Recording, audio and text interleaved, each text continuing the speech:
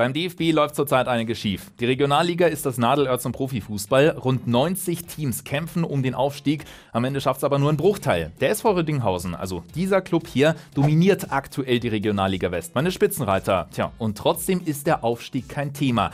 Das ist ein Fehler im System. Der DFB legt den Amateurclubs Steine in den Weg. Was los ist, klären wir jetzt. Eins vorneweg, für dieses Video bin ich 19 Stunden unterwegs gewesen. Mit dem Auto von München, also richtig aus dem Süden, hoch nach Rödinghausen und sofort wieder zurück. Falls ihr sagt, ey, das ist ja geil, lasst gerne ein Abo da, da unten einfach draufdrücken. Hier auf dem Kanal gibt es nämlich nicht nur Top-Themen, über die ich rede, sondern natürlich auch die Amateure. Die sind wichtig und die haben hier einen festen Platz. So, starten wir mal mit einem kurzen Rückblick. Seit 1970 gibt es den SV Rödinghausen. Damals fusionierten zwei Dorfclubs, man war so ein typischer Amateurverein, ohne wirklich Erfolg zu haben. Vor zehn Jahren spielte das Team noch in der Kreisliga A. Krass, oder? Mit Geschäftsführer Alexander Müller habe ich über die Zeit geredet und die Zustände, puh, die waren schon kurios. Es war wirklich äh, ja, Hobbyfußball. Ähm, äh, ja, ein kleiner Club mit, mit ein paar Mannschaften. Ähm, so, und da gab es ja wenig, also eigentlich gar keine professionellen Strukturen. Da war wirklich Küchentischmentalität, da wird alles Vereinsarbeit wirklich noch äh, klassisch gemacht, was einfach auch seinen, seinen Charme hat. Und da war an sowas wie hier und wenn man jetzt hier schaut, auch in Rödinghausen, an so ein Stadion, an so eine Infrastruktur, ja, natürlich überhaupt nicht zu denken. Seitdem hat sich viel geändert und das ist kein Zufall. Ein Mann ist dafür verantwortlich, Horst Finkemeier. Er kommt aus der Region, ist in Rödinghausen fest verwurzelt und dort sogar Ehrenbürger. Sein Enkel Jan hat mal beim SV in der Jugend gespielt und zu dem Zeitpunkt gab es für das Team nicht mal einheitliche Trikots, eben weil Geld an allen Ecken und Enden fehlte, so wie es bei vielen Amateuren ganz normal ist. Finkemeier dachte sich, okay, ich muss helfen und das tut er bis heute. Interessant ist, das Wort Mäzen wird dort total ungern verwendet.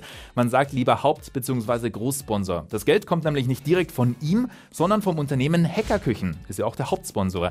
Das ist der drittgrößte Küchenbauer in Deutschland. Besitzer dieser Firma ist die Familie Finkemeier und der Konzern sitzt auch in Rödinghausen. Sofort ging es für den Verein rasant nach oben. Fünf Aufstiege in Folge, der SV konnte Top-Spieler zu sich locken, Jungs, die eigentlich gut genug für höhere Ligen wären. Der Trick? Ein 2 in 1 Stil. A. Sie dürfen beim SV Rödinghausen Fußball spielen und B. Sie bekommen bei Hackerküchen einen Arbeitsplatz. Sogar heute arbeiten noch Ex-Spieler dort im Unternehmen. Logisch. Das gab Kritik, insbesondere in den unteren Ligen. Die Konkurrenten sagten, hey, da steht doch eine Millionärstruppe auf dem Platz. Hm. Das Ziel dieses Projekts war aber direkt zu Beginn, und das ist eigentlich auch heute noch, ein ganz anderes. Also grundsätzlich ging es darum, eine, eine, ja, eine, Infrastruktur zu schaffen von Herrn äh, Finkemeier damals, zu sagen, okay, wir wollen die, die Nachwuchsarbeit fördern äh, in und um Rödinghausen, wir wollen den Jugendlichen da ja, was, was bieten, was es vielleicht sonst nicht gibt und äh, die Zielsetzung war nie Profifußball, sondern eher ja, höherer Amateurbereich, das ist jetzt ähm, ja, in die Spitze der Regionalliga ging und geht, äh, war so vor einigen Jahren auch nicht vorhersehbar. Also, die Jugend ausbilden. Der Grund für diesen Weg ist relativ simpel. Sport kann in der Erziehung eine wichtige Stütze sein. Disziplin, Ordnung und Sauberkeit spielen da eine ganz entscheidende Rolle. Das hat Finkemeier mal in einem Interview gesagt. Aber auch hier gab es Kritik von allen Seiten, insbesondere am Anfang. Die Konkurrenten befürchteten nämlich, ey, der SV nimmt uns die besten Talente weg. Und ja, das stimmte natürlich. Viele junge Spieler gingen in die Akademie, weil sie sich dachten, hey, da ist wahrscheinlich die Ausbildung am besten. Mittlerweile ist die Kritik, zumindest größtenteils verstummt. Die Ausbildung beim SV ist nämlich offensichtlich wirklich gut. Aber ihr wisst, nicht jedes Talent schafft den Durchbruch und so bildet der SV auch für die Clubs im Umland gute Bezirks- bzw. Landesliga-Kicker aus. Man profitiert also voneinander. Erfolge hat die Jugend des SV Rödinghausen auch schon gefeiert. Die A-Junioren spielten letzte Saison zum ersten Mal in der Bundesliga West. Eine sehr wichtige Erfahrung für jeden dort. Die U23 ist dazu in der Westfalenliga, also in der sechsten Liga. Das Ziel ist, so viele Talente wie möglich sollen in die erste Mannschaft integriert werden. Und das klappt. Ein Beispiel: Fabian Kunze in der U19 kam er nach Rödinghausen. Dort gab es dann das Feintuning und jetzt Tja, spielt er bei Arminia Bielefeld in der zweiten Bundesliga. Oder, ihr kennt ihn alle, Marius Bülter. Aktuell liefert er bei Union Berlin brutale Leistungen ab. Sieben Saisontore sind schon auf seinem Konto und ja, er kommt jetzt nicht so ganz aus der Jugend des SV Rödinghausen, aber als junger Kerl kam er ins Dorf und dort kickt er dann fünf Jahre lang. Also Marius hatte immer was. Äh, man sieht es ja jetzt auch, das kommt ja nicht über Nacht und auch nicht über ein halbes Jahr. Also er hatte immer was. Er hat, eine, hat sehr, sehr an sich gearbeitet, auch athletisch, was man jetzt einfach auch sieht, was eine, eine absolute Waffe ist ähm, für ihn und für Union. Das, das muss man schon so sagen. Er hat sich unglaublich gemacht durch, durch harte Arbeit, durch fleißiges Trainieren, was wir den Jungs auch immer wieder immer vorleben. Und bei ihm hat es, glaube ich, äh, zur richtigen Zeit Klick gemacht, dass da einfach auch noch mehr geht als äh, vielleicht in Anführungsstrichen nur Regionalliga. Und ich finde es einfach ja, überragend, wenn man ihn da jetzt äh, in der Bundesliga äh, spielen sieht. Kommen wir jetzt mal zum Sportlichen. Ich finde, der Fußball des SV Rödinghausen ist definitiv attraktiv. Man hat die beste Offensive der Liga. Im Schnitt schießt das Team zweieinhalb Tore pro Spiel. Der SV will aggressiv sein, sofort den Ball haben und das Ziel ist, den Fans ein Spektakel zu bieten. In der Regionalliga klappt das 1A. Seit November ist das Team ungeschlagen. Elf Siege, zwei Unentschieden. Und das ist nichts Neues. Beeindruckend ist ja, egal wie groß der Gegner ist, man versteckt sich nicht. Im DFB-Pokal gab es das größte Spiel in der Vereinsgeschichte. Das war im Oktober 2018. Zweite Runde. Flutlicht, live für Free TV und der Gegner, nun ja, der FC Bayern München. Für den Club natürlich ein legendärer Abend. Ne, wenn dann die Jungs von, von Bayern da äh, durch den Spielertunnel laufen und äh, neben unseren Jungs da stehen, äh, dann denkt man schon, äh, bitte kneif ich mal, ist das jetzt gerade wahr? Und wenn wir dann uns dann auch so verkaufen, ähm, ist es unfassbar. Ein brutal enges Spiel, vor allem in der zweiten Halbzeit. Der kleine Dorfclub hatte nämlich das Ziel, unbedingt ein Tor zu schießen. Genau das klappte. 1 zu 2 verlor der SV Rödinghausen gegen den großen FC Bayern. Eine Sache fiel da auf, man spielte an der Bremer Brücke in Osnabrück, sprich nicht im eigenen Stadion. Tja, für so ein Spiel ist es halt einfach zu klein. Früher war das Hacker Wien Stadion einfach nur so ein ganz normaler Sportplatz. Ist ja auch irgendwie logisch. Immerhin hat man nur in der Kreisliga A gekickt. 2009 änderte sich das. Für ca. 1,5 bis 2 Millionen Euro baute der Konzern Hackerküchen ein neues Stadion. Es gibt eine Haupttribüne und auf der Gegengerade einfach so ein paar Stehplätze noch für Auswärtsfans. Das war's. Für den SV Rüdinghausen reicht es vollkommen aus. Bei einem Ligaspiel sind im Schnitt 1100 Fans. Logisch, das ist eine kleine Gemeinde, da gibt's wenige, aber dafür sehr treue Fans. Tja, dem DFB ist das egal. Wer in den Profifußball will, also in die dritte Liga zum Beispiel, muss Auflagen erfüllen und die sind für den SV nur sehr schwer zu stemmen. Haben ein ja, tolles Stadion, ein hochmodernes Fußballstadion, was allerdings äh, deutlich zu klein ist. Und am Standort hier, äh, wenn man sich hier umschaut, ist das nicht möglich, das Stadion auf, auf 10.001 Zuschauer zu erweitern. Ähm, dementsprechend wäre langfristig nur ein Neubau in Frage gekommen, was aktuell einfach nicht darstellbar ist für uns, für, für die Nachhaltigkeit, für ja, die Zukunft des Vereins unvernünftig wäre in, in unseren Augen. Deshalb haben wir schweren Herzens, muss ich auch, auch persönlich sagen, diese Entscheidung dann treffen müssen. So, das ist der Punkt. Deshalb kann man nicht aufsteigen. Jeder Drittligist braucht nämlich ein Stadion, in dem 10.001 Plätze sind. Das ist völlig skurril, dann schauen wir mal ins europäische Ausland.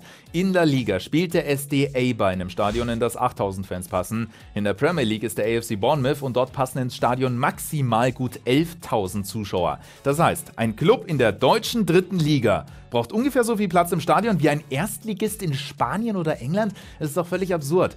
Und dann ist mal die Frage an euch. Was wollt ihr im Fernsehen lieber sehen? A. Leere Sitzschalen oder B. Eine kleine, aber volle Tribüne. Stimmt gerne mal ab, oben im I ist eine Umfrage, aber eigentlich sollte doch das Ergebnis schon klar sein, oder? Dazu gibt es bei der Lizenz für die dritte Liga noch weitere Probleme. Es braucht größere Parkflächen, neue Sanitäranlagen und Sicherheitswege, insbesondere für die Anreise der Gäste. Klar, Sicherheit ist wichtig, da sollte man auch überhaupt keine Kompromisse machen. Solange die aber gewährleistet wird, sollte es doch egal sein, wie groß ein Stadion ist, insbesondere in der dritten Liga. Das ist, nun ja, meiner Meinung, wenn ihr eine andere habt, postet die gerne mal unten in den Kommentaren. Eine Alternative für den SV Rödinghausen wäre umziehen, sprich in ein anderes Stadion, zum Beispiel nach Osnabrück oder Bielefeld. Das will man beim SV aber nicht. Der Grund, Heimat ist wichtig und der Slogan des Vereins ist, wir sind Rödinghausen. Bei einem Umzug könnte man den direkt mal in den Müll werfen. Also das kann ich voll und ganz nachvollziehen. Da bleibt für einen kleinen Club halt keine andere Wahl, als zu sagen, okay, dritte Liga ohne uns. Für die Spieler des SV Rödinghausen ist es natürlich eine ganz bittere Pille. Ihre harte Arbeit wird nicht belohnt. Am Ende stehen sie zumindest sportlich mit leeren Händen da. Finanziell gibt es zwar eine Meisterprämie, aber hey, Emotionen in einer Aufstiegsfeier sind halt unbezahlbar. Jetzt ist die Frage, zerbricht diese Mannschaft? Verlassen ganz viele Spieler den Club und suchen woanders ihr Glück? Stand jetzt eher nicht. Der SV Rödinghausen arbeitet bereits unter Profibedingungen. Das heißt, die Spieler sind Vollzeitfußballer, sie verdienen genug Geld, um davon zu leben. Das ist Luxus, denn in der Regionalliga ist es bei weitem nicht alltäglich. Ich kenne genug Jungs, die nebenbei arbeiten müssen. Beim SV Rödinghausen bleibt der Etat gleich hoch. Finanziell wird sich also da auch in der neuen Saison nichts ändern. Hier helfen über 150 Sponsoren und natürlich Hackerküchen. Das heißt, für einen Regionalliga-Kicker ist Rödinghausen weiterhin eine gute Adresse. Trotzdem, Erfolg macht sexy. Die Spieler stehen zurzeit im Schaufenster. Einige sind natürlich dann auch für größere Clubs interessant. Alexander Müller hat bereits angekündigt, okay, wenn jemand höher spielen will, also zum Beispiel in der dritten Liga, setzt man sich an einen Tisch und redet. Der SV Rödinghausen ist und bleibt ein Ausbildungsclub, ein Sprungbrett in den Profifußball und das ist jedem klar. Tja, realistisch ist ein Aufstieg des Vereins in den nächsten Jahren nicht. So deutlich muss man das jetzt auch mal sagen. Und trotzdem, die Hoffnung hat Alexander Müller noch bei weitem nicht aufgegeben. mein Traum wäre mindestens in der dritten Liga äh, mit einem neuen, nagelneuen, tollen Fußballstadion und einer unfassbar tollen Mannschaft. Aber auch da ich hoffe, dass wir dann auch weiterhin so gesund ähm, dastehen wie heute, dass wir weiterhin äh, so einen guten Ruf, so ein gutes Image haben, was wir aktuell, aktuell haben. Äh, das ist mir sehr, sehr wichtig, dass wir da auch wirklich nachhaltig eine gute Arbeit machen, den Nachwuchsbereich noch noch verbessern und nach wie vor eine richtig, richtig gute und, und heiße erste, erste Mannschaft haben. Tja, träumen sollte doch noch erlaubt sein. Um irgendwann aufsteigen zu dürfen, braucht der Verein definitiv die Hilfe des DFB. Die Regularien sind viel zu streng. Nur einmal in der Clubgeschichte gab es in einem Pflichtspiel ein ausverkauftes Haus. Das war im DFB-Pokal gegen den SC Paderborn. Etwa 2000 Fans waren da vor Ort. Sonst sind es immer weniger. Eine fette Arena da jetzt hinzubauen, macht also überhaupt keinen Sinn. Mein Vorschlag ist, der DFB sollte in Zukunft die Regeln lockern und vor allem jeden Fall einzeln bewerten. Das wäre fair. Das Wenn-Potenzial in einer Großstadt wie zum Beispiel hier in München ist halt viel größer als in einem Dorf. So etwas muss der DFB berücksichtigen. Tut er halt aktuell nicht. Und das ist verdammt schade. Hier ist jetzt noch ein weiteres Fußballvideo aus dem Funknetzwerk verlinkt. Schaut euch das gerne mal an. Da geht es darum, was passiert, wenn der Traum vom Profifußballer ausgeträumt ist. Die Kollegen von Follow Me Reports haben das gedreht. Wir sehen uns dann beim nächsten Mal wieder. Bis dahin wünsche ich gut Kick, haut rein und ciao.